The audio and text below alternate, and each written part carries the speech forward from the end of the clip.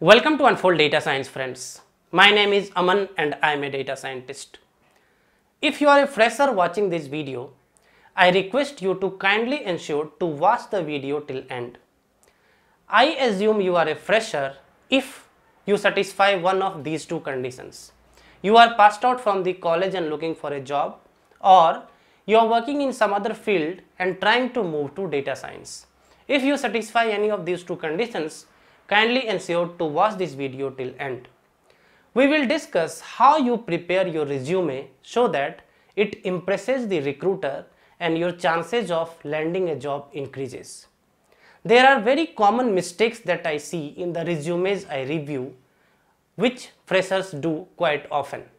We will discuss in detail what are some of the do's and some of the do nots of data science resume for freshers. Let us start the discussion guys. Before that, I want you to kindly press the subscribe button if you have not done yet and also press the bell icon so that you receive all the notification. Let us start with do nots. Okay. The very first thing I want to tell you guys, no matter you come from a mechanical engineering background or you are a Java guy or you are a SAP ABAP consultant, doesn't matter how you should write your introduction is a data scientist that is the job you are looking for guys right? So imagine i go to a carpenter shop and i am looking for a job of a carpenter and i say a painter with 8 years experience or a plumber with 8 years experience. Does that look good? No.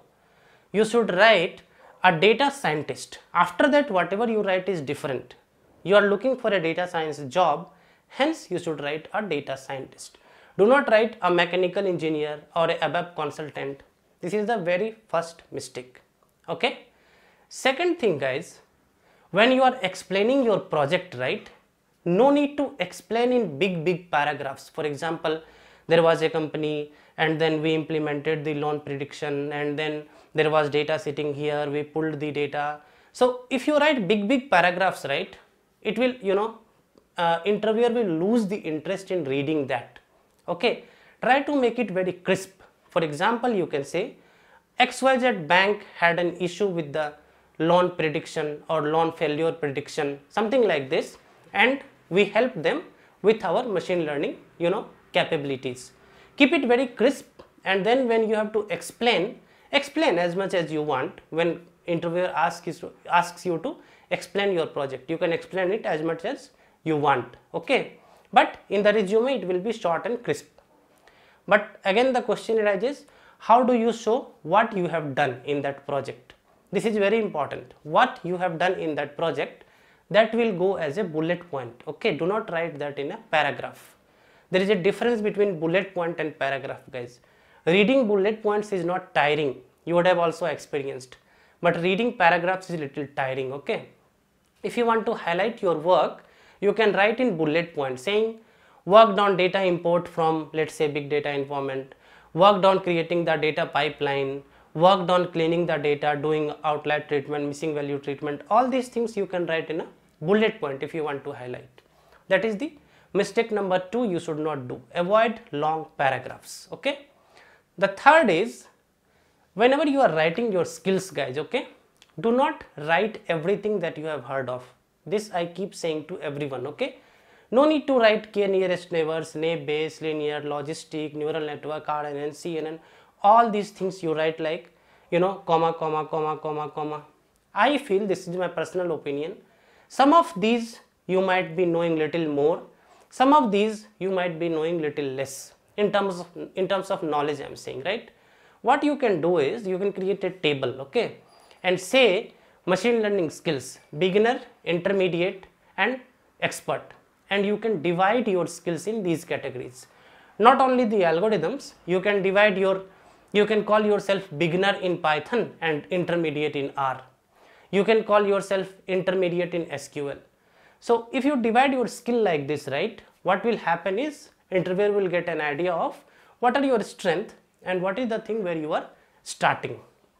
That is the third tip that you should avoid. Do not give similar priority to all your skills okay?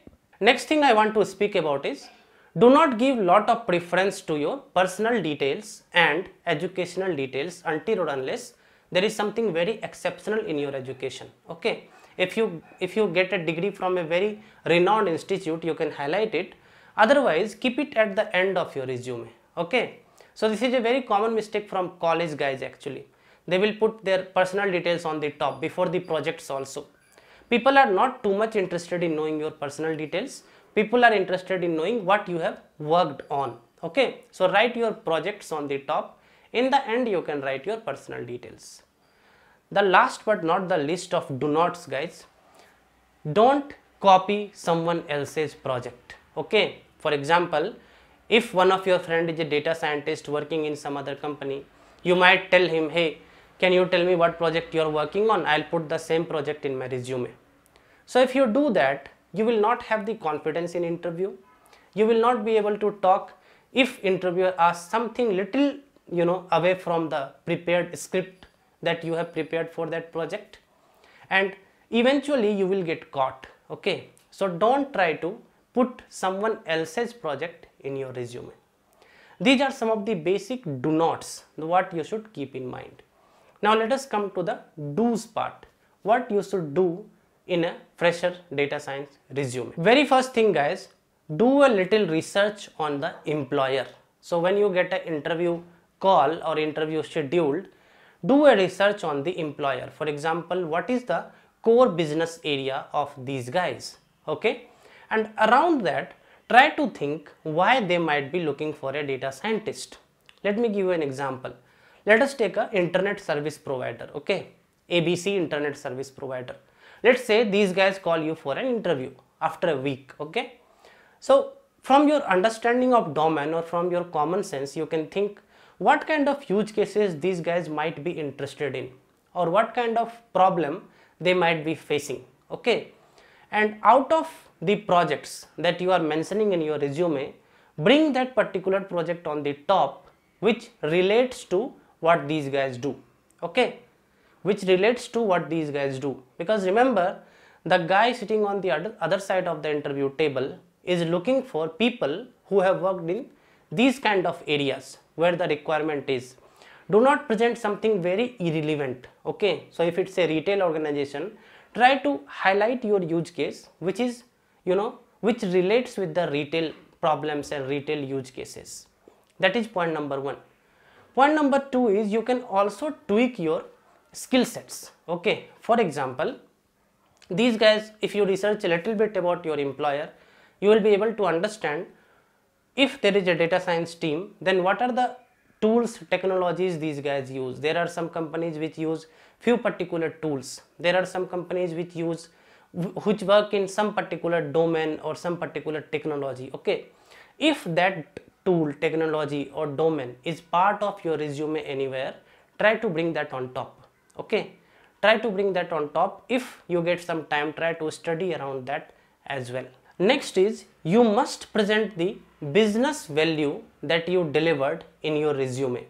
I'll give you a simple example. So you built a logistic regression use case for a XYZ company. How this logistic regression use case helped the business? What I mean to say here is, let's say you built a attrition model for a company, okay? So you should call out very clearly in your resume that by using this model, employer was able to reduce the attrition from 18% to 12%. Some matrices from business value point of view. How was your work useful to them? And keep insisting on these points when you talk more about your projects, when you explain about your use case.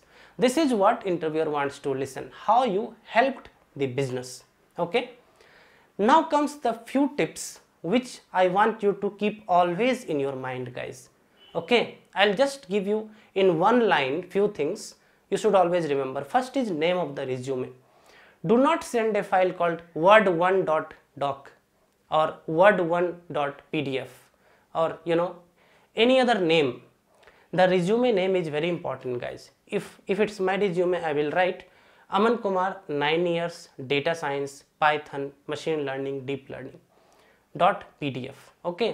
If this is little long you can shorten it. You can just write Aman Kumar data science 9 years. You can also make your resume name like this. Second try to create a pdf of your word file. Okay? Pdf is easier to glance through scroll through look through. Okay? So try to have a pdf file. Third is uh, you should keep very good aesthetics. Do not keep something in very small something in very large some other format of the text this side of the resume some other format of the text that side of the resume. Do not do that. Next is do not have many pages of your resume. I think two pages are enough. Some people recommend one page also. Sometimes in one page it becomes difficult to showcase your skills properly.